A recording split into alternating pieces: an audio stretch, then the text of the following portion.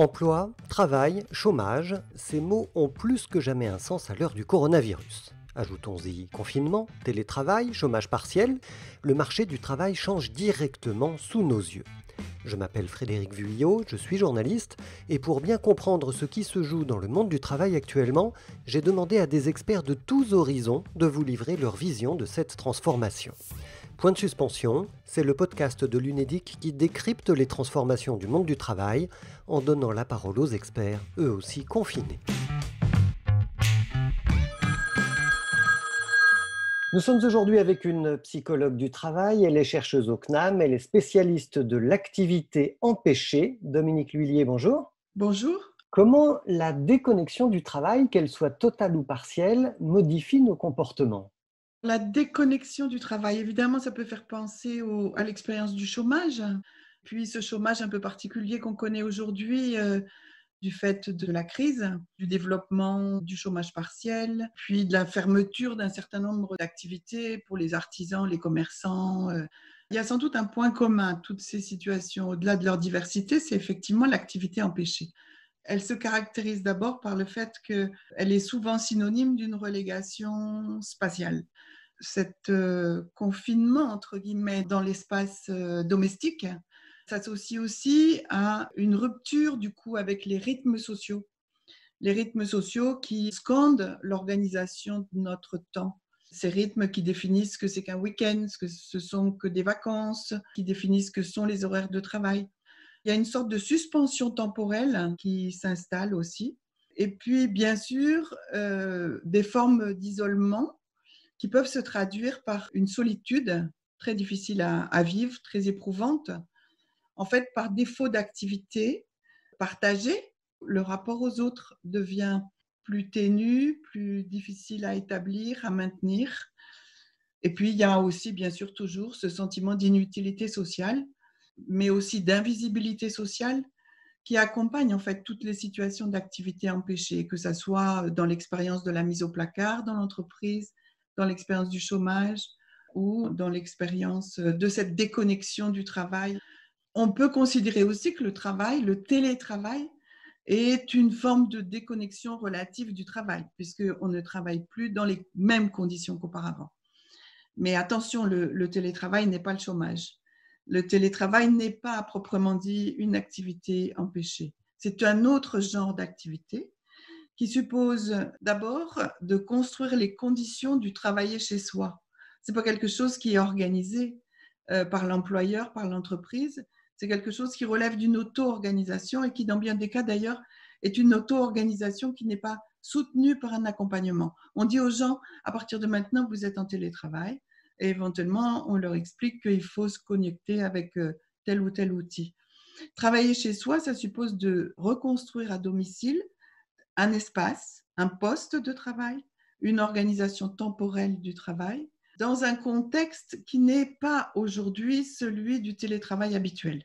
Donc même ceux qui ont l'expérience du télétravail précédemment réalisent en fait qu'il y a des transformations majeures, notamment le fait que l'espace familial domestique est surencombré, si je puis dire, avec le confinement.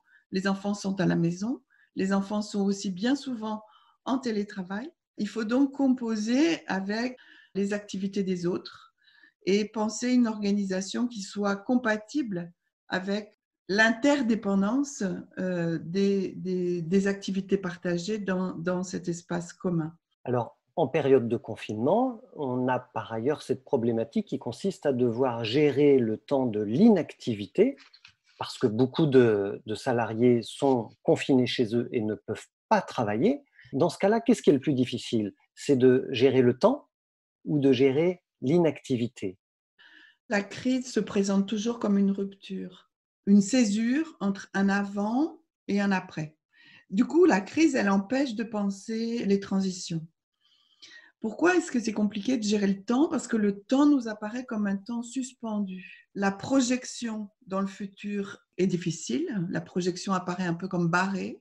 Et en même temps, les appuis sur euh, le passé apparaissent comme brouillés. Du coup, ce qui est plutôt mobilisé, c'est une posture d'attente anxieuse qui favorise en même temps aussi une anesthésie de la, pensée, comme si finalement tous les repères dont on disposait nous font défaut. Bref, tout ça conjugué fabrique un temps vide, un temps infini. Aujourd'hui, on pourrait dire qu'on a grosso modo trois, trois grands types de situations dans ce monde du travail reconfiguré. On a des, des sans-travail euh, confinés qui sont peut-être, eux, plus particulièrement malmenés par cette suspension temporelle et ce manque d'activité.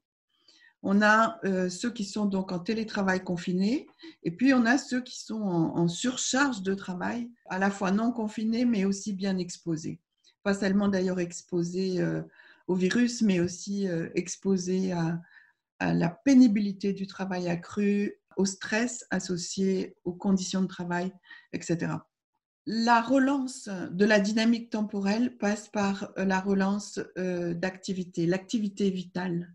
On peut se reconstruire dans de nouvelles activités.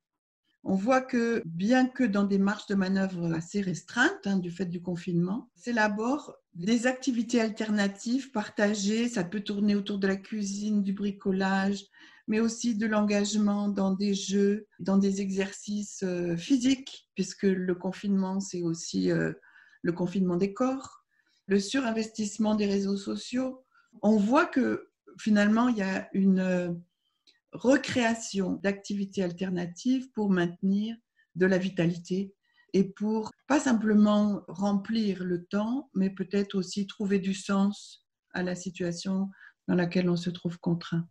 Alors, dernière question, Dominique Lullier. Le monde du travail, c'est un monde d'interaction sociale. Comment est-ce qu'on fait pour préserver les interactions sociales quand on est en période de confinement? Il y a d'abord les relations intrafamiliales.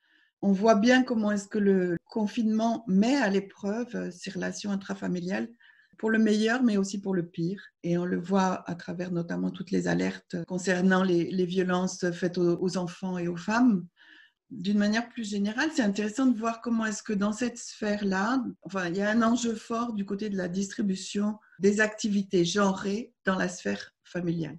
Les uns se mettant à peindre la cuisine pendant que les autres se mettent à faire intensément la cuisine.